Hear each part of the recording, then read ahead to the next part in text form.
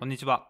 フットボールレディオの松です。2022-2023シーズン、イングランドプレミアリーグ第11節、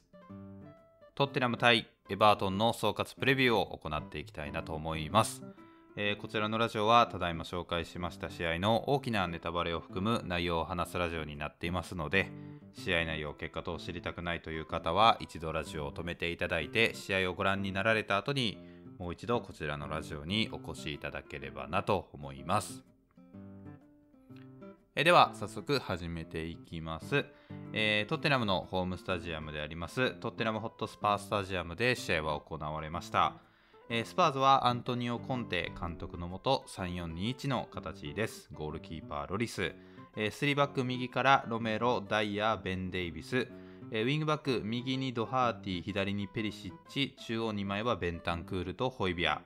えーツーシャドウにリシャルリソンとソン・フンミン、ワントップ、ハリー・ケインというような形になってます。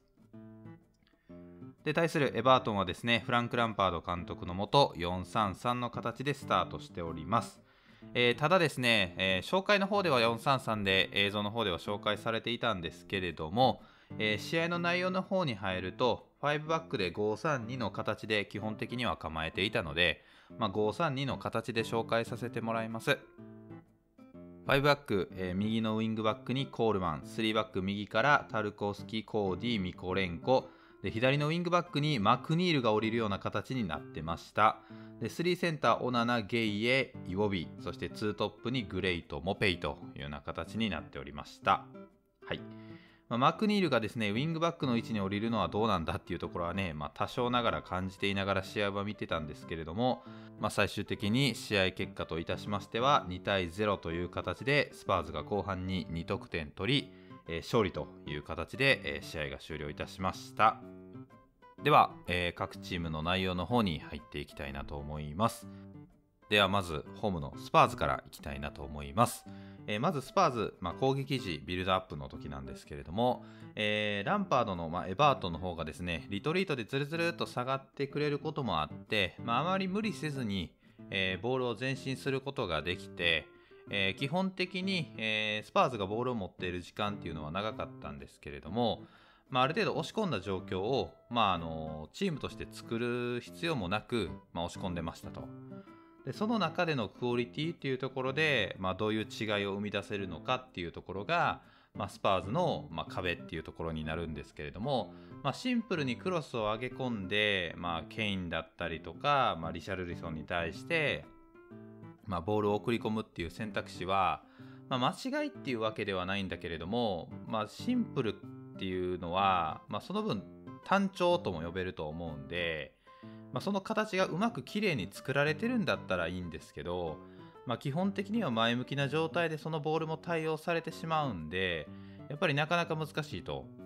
まあ、その中でも驚異性を出してたケインとリシャルリソンはすごいんですけれどもやっぱりチャンピオンズリーグ明けてまだ中2日っていう、まあ、過密日程の中で挑んできてる試合なんでやっぱりなかなかね、まあ、無理も効く選手たちですけれどもなかなか厳しいと。だからまあ深く、まあ、ポケットを取るようなことだったりとか、まあ、積極的に背後を取るとか、まあ、ある程度こうラインが下がってる相手に対して背後を取るっていうのは難しいんですけれども、まあ、引き出す能力とか、まあ、左右に振るとか、まあ、そういったことももう少し求められていくのは、まあ、この先必ず出てくるかなと。まあ、最終的に後半に2得点取ったものも基本的にはま自分たちがどうこうしたっていうよりも、ま、相手が変化をしてくれたことによる恩恵に近いので、まあ、あのスパーズの話をするとき僕もよく話しますけれども、まあ、ある程度このチームもカウンターを軸に戦っていることが多いチームなんでボールを持って自分たちで押し込む時間帯になると、まあ、崩しの形っていうのがそこまで、ま、多彩ではないと。ねまあ、あの多彩であればいいかって言われたらね、まあ、そういったわけではないんだけれどもやっぱり武器は持ってれば持ってるほど絶対いいしより大きな敵を倒していくことを考えると、まあ、チャンピオンズリーグの舞台とかで考えていくと、まあ、絶対多いに越したことはないですからまあね、まああのエバートンがボールを持って押し込んでくれた方が逆にスパーズはやりやすかったのかもしれないけれども、あの、まあ、ボールを無理せずとも運べたし、まあ、最終局面のクオリティで、まあ、物足りなさみたいなものも多少ながら感じていた中で、まあ、後半に2得点取れたっていう感じかな。はい。で、えー、守備時は基本的にどんどんどんどんま縦スライドで捕まえに行くような形で、まあ、制限をかけてましたと。で強度もあるしスピード感もあって、まあ、明確に約束ことも決まってるんで、まあ、エバートンがつなぐ意識もそこまでないし、まあ、つなぐ配置をランパードが作れないんで、まあ、しっかりとそのプレスをはめ込んでいってしまえばボールも簡単に回収できてしまえるし、まあ、相手の前線のタレントを考えてもね、まあ、回収できるっていうところもあったんで、まああの90分通してところどころハイクオリティなものも両チーム合わせてある時はあるんですけどやっぱりこうエバートンもエバートンでまあ課題はやっぱあるしまあ少なからずというかどちらかというと若干大いに近いチームだと僕は思うんでまああのスパーズとしてはまあ、本当に自分たちのクオリティがどれだけあるかによってはもっと楽に勝てた可能性はあるかなと、まあ、攻撃の部分で特にね、うん、だから守備のところは基本的にほとんど問題なかったんじゃないかな、うん。まあ、やりたいこともちゃんとできてたし回収も早くできてたしね良かったと思いますよ。はい。でまあ対するまあ問題はエバートンなんですけれどもまあ、ランパードに対しての印象ってまあ僕常日頃からあんま変わんないけれどもまああのもともとアタッキングなフットボールを施行するみたいなことを過去に発言していたこともあったじゃないですか。でもそういうことを発言する割に配置のとこ整えないなとか捕まりきってるとこ全然気になってないのかいみたいなこととかまあ本当に多い監督でこう若手を起用するとかもう大雑把に形を決めるとかだったら、まあ、ある程度できる監督なんだけれどもこう今どういう流れでどういう形でやっててで自分たちの特徴と、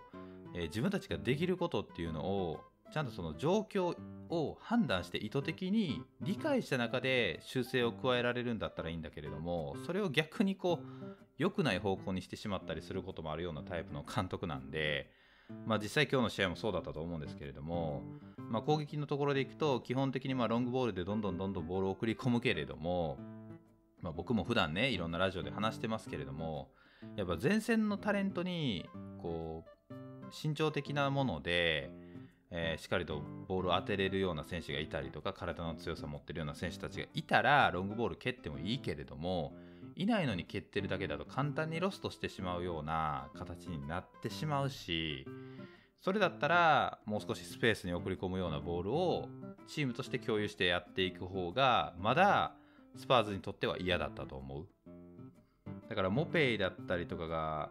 全然活躍しなかったと思うんですけどこれはモペイが悪いっていうよりもランパードのやり方が良くないですね。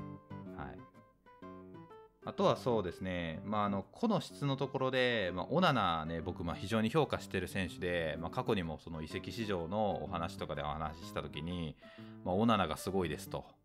まあ、いうお話はさせてもらったんですけれども、まあ、今日もね存分に彼の才能を見せてくれてたと思います、まあ、あのボールを運ぶ能力フィジカル的な能力、えー、局面での強さ本当にさまざまなものを発揮してくれてましたけれどもやっぱりその辺りの中央でのまあ何て言うんだろう、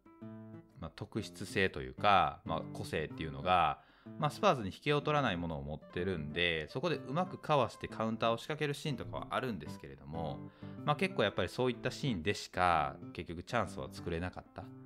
だからチームとして生み出したっていうものがほとんどなかったことが、まあ、ランパードの、ま課題かなと。だからそこをね修正してくれたら嬉しかったなと思ったんですけど後半に入ってねスパーズがこう引かれた相手を崩すのに困惑してるのにスペース空けちゃってねそこ疲れてやられるみたいなことしちゃったんでおいおいっていう感じなんですけれども、まあ、基本的には前半はま532で低いブロック構えて、えー、ウィングバックが低めでねそのまま立ち位置取って、えー、サイドからのクロスに対してはもう前向きで常に対応するような形をとってる。うんまあ、ウィングバックが前に立てスライドして出ていく形も全然ありなんですけれどもやっぱりそうなってくると、まあ、チームとして連動したハイプレスの強度とかスピード感っていうのが求められてくるんでそこもやっぱ整理されてないんだったら、まあ、ある程度低めでがっちり構えちゃった方がねまあ、良かったっていうところはあったんだけれども、まあもろもろねまあ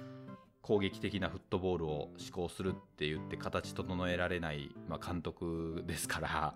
ねまああの内容を見た時にもっと攻撃的にいかなければならないっていうね、前から出ているような発言を汲み取った感じだとそういうことしてもまあ致し方ないなというか、まあ、そういうことするやろなっていうところはね、まあ、なんとなく分かりましたけれども、まあ、ただやっぱり内容を見ててもやっぱりエバートンはあのー、まだまだ個の質に頼ってるところは大きいと思いますね。なんかこう結果がある程度出てるからとかでランパードを評価することも別に悪いとは言わないですけれどもやっぱりチームとして機能してるかとか再現性が高いとか、ね、やっぱそういったところもやっぱ重要視して見ていかないとダメだと僕は思うのでうーんまあランパードの限界値っていうのはやっぱ見えてるような気がしますけどね。なんかそれやっぱりレジェンド級の選手なんでイングランド国内でも。なんかそういったところでこう人を引きつける能力は多分あると思うんだけれどもやっぱり監督として必要なその現場の状況を判断した時にうまく修正を加えたりとか自分たちの個性を生かした配置を継続する能力とか判断とか、まあ、配置を整えるとか、まあ、もともろもろまあいろんなことが必要になるわけですよ本当に。でもそれを自分のそのまあ、やりたいことというかそういった思考があった中でそういう変化を加えたいっていう気持ちは分からなくないんですよ。でももともとそこ整えるのうまくないのに前に出ちゃってどないすんのっていう話なんですよね。だからただ単に攻撃的にシフトするっていう考えだけじゃダメなのは、まあ、皆さんもご存知だと思うんですけどそんなこと誰だって言えるじゃないですか。もう守備で押し込まれてる状況の中でじゃあ次攻撃的に行こうよみたいなね。ー、まあ、ロッカールームに戻った時に、まあ、少しちょっと前がかりで出ていこうなんて言えるんですよ。でもその出ていった分その分のリスクを背負うし出ていくんだったらその分やっぱり連動した守備をしないと結局良くないと。それだったら割り切った方法やった方がまだ現実的だよと。より相手を苦しめることもできるし自分たちにとってもやっぱり失点のリスクを減らすことができる。エバートンの戦い方とか、まあ、ランパードの戦い方を見ていると、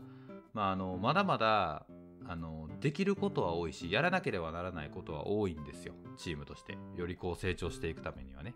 でも、まあ、何度も話してますけど過去にも何度も話してますけれどもランパードでは正直厳しいっていうのがもう就任当初から分かってることなんで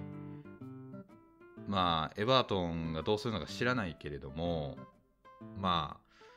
まあ、こんなもんだろうなっていう感じでしたね試合を見てても、うん、でもやっぱりそうだとしてもやっぱ中盤の3枚はすごいけどね、うんまあ、コーディもいいキック持ってるしね。タルコスキもやっぱ球際強いし。ねまあ、コールマンも本当年齢重ねてるけど本当こういぶし銀みたいなプレーもしてくれるしね。だから選手はねやっぱいい選手いるんですよねヘバートンね。やっぱ素材を生かすも殺すも監督ですからね。うん。ってな感じですかね。はい。ということで、えー、以上でございます、えー、本当に最後までご視聴いただきましてありがとうございました。えー、ぜひ最後にチャンネル登録とコメント、Twitter、Instagram もやってるので、よろしければフォローの方もよろしくお願いいたします。ご視聴ありがとうございました。